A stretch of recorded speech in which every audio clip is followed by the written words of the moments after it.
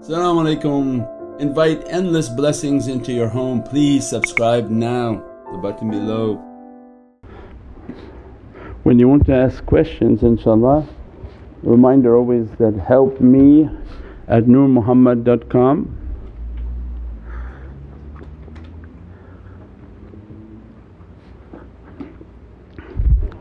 we uh, open up the lines for questions and emails to learn more from the subjects that have already been taught.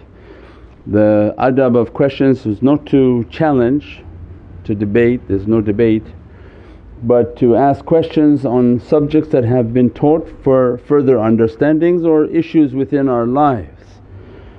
In the open forum again the questions related to the teachings and, and not to impress the other people that you have very complicated questions that nobody can even understand. Keep everything please down to earth so that the general audience understands everything inshaAllah. Sayyidi, how much is the qurban this year and is it best to give to Fatima Zahra? you make that one up yourself? No, yeah. I don't know. It's on the on the website inshaAllah. So they have all the, the listings for the qurban and, and give to the qurban wherever you want to give it inshaAllah, wherever your heart wants to give it inshaAllah. But this is a season for the qurban and that's the reality of the qurban inshaAllah. Sayyidi, how can we increase love for our murshid?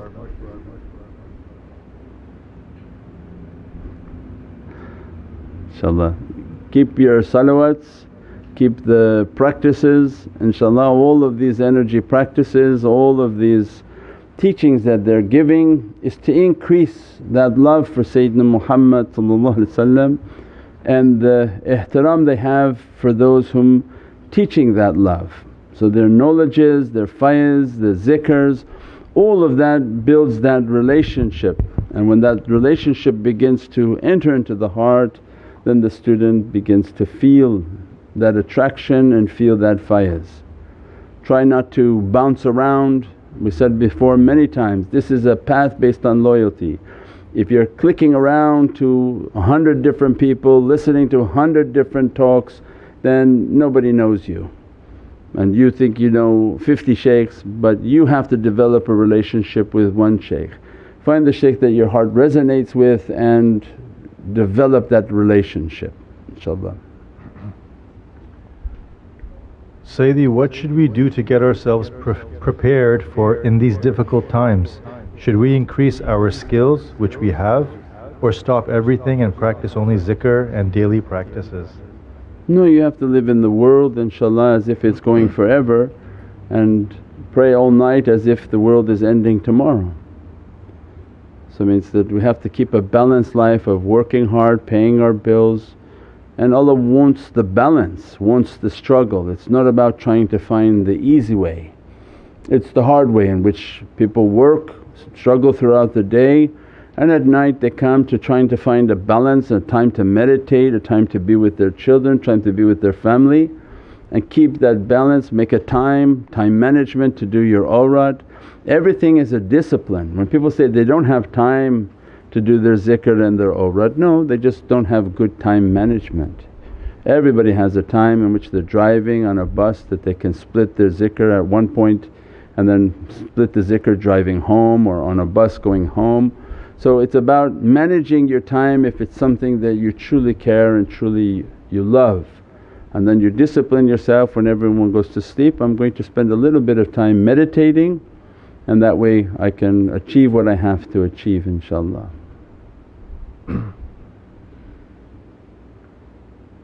Sayyidi, how can one battle with his thoughts to keep his focus on the prayer and not focus on irrelevant thoughts? Yeah, all of these are the inshaAllah shaitan Bismillah Rahman Rahim is the energy talk. We talked the other night and I think that the, the depth of, of energy understanding is a little bit simplified to people. Especially Muslims they think, oh we make salah, Shaykh why you don't just talk about the salah? Why don't you talk about this or talk about Islamic terminology? But in reality that if we don't understand energy And that's why then these awliya and those whom taught by awliyaullah everything is based on a qudra because this is the common denominator of every issue and every problem we have. If somebody calls and says that they can't pray, they don't have the ability to pray anymore, that they don't feel like praying and it can go so bad that if they try to make sujood something will burn them from making the sujood. Means that can you describe that by salah and force the person, go make wudu and now pray? He said, they can't. If you think that your salah is going to save you and take away sayyata amalina and take away your sayyat, you don't understand what's happening. So it means that when you sin through your action you lost the protection that Allah has given. As a result 10 ifrit have jumped into you. They're around billions and billions of ifrit are all around us. As soon as you sin your shield of protection is down. For example 10 of them enter into your being. These 10 when they enter into your being they begin to change your appetite, change your desires, change your characteristics because they're not you and they're from shaitan. They want to watch different things, they want to look at different things, they want to talk different, they want to hear different things because they're occupying you.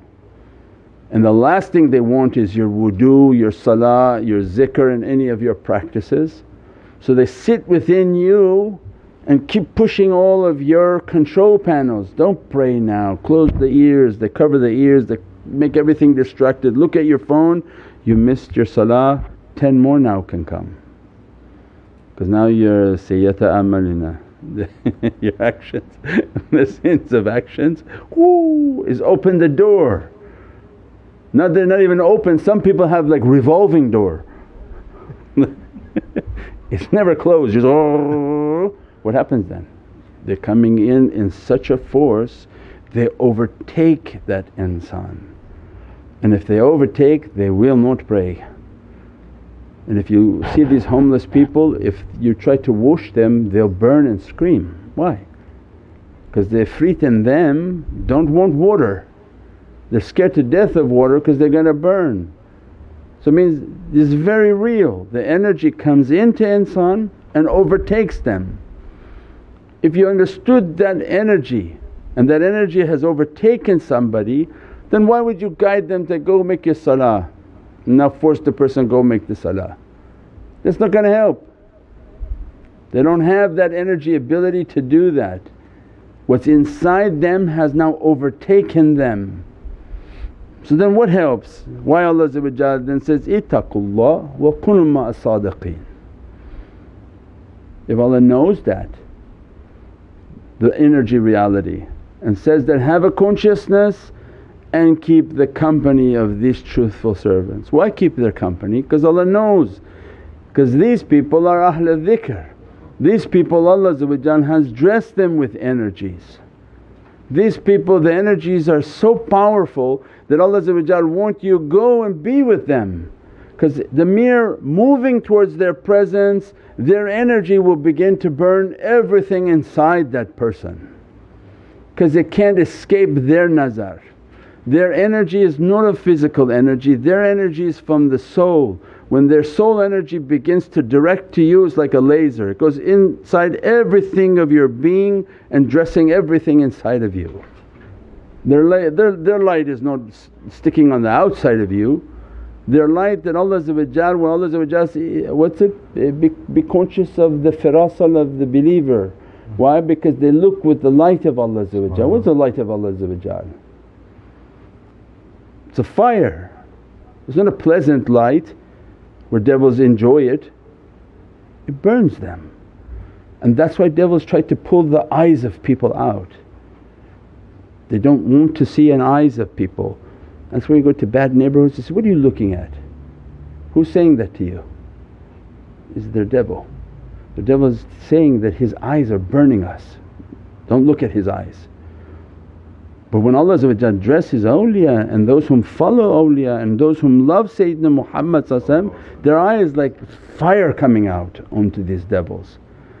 So when they look and they gaze at somebody their fire goes and begin to burn everything in that person. And that's why then their devils and their jinn they stay outside, very far outside. And that's why everybody come peaceful into the zikr, some go a little bit crazy when things are trying to leave them. They stay peaceful until you get in your car. When you get in your car and go down the block where he's waiting for you, then all your waswas comes, ah why'd he do like that, why'd they serve our dinner late, why was it like this, do you know they took my tea away from me? Because he was waiting there. He caught you when you were coming out the way, he didn't wait in here and do that. So I mean no energy is very real. So when their, their gaze and their association we said before, now imagine if that shaykh is like that or his students are dressed by his nazar and the madad of the center and the zikr locations all their madad is coming down. When their madad comes down they're like uh, swords of light. There's nothing going to escape this room without being cleaned. And we described before that when you watch live turn the sound on because their light and their madad will come into the home, the zikr will enter the home from Budala, Nujaba, Nuqab, Awtad wal Akhyar, Jinn wal Ins, Jinn wal Malaika. Seven categories of spiritual beings enter into the home. To do what? To begin now the cleansing within that home and all the zikr that they're playing. To again attack anything that's coming, any type of energies that are coming they're cleansing and that's the purpose of why they're doing what they're doing. So it means no Allah has many remedies and that's why Prophet described that when you see a circle of paradise don't leave it. Now where are all the paradise people? They say there's like thousand mosques and 10,000, 50,000 worshippers then they want paradise. Circles of zikr have 10 people in them. Something's off. What happened to the people who wanted paradise? And then paradise has a fire and a power against shaitan.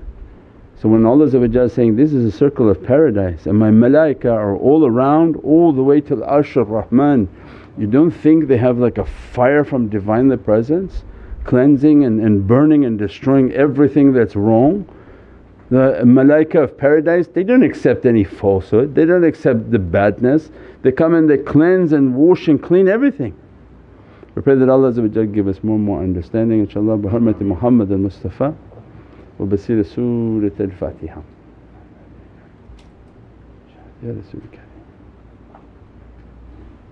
Thank you very much. Click the link now to subscribe.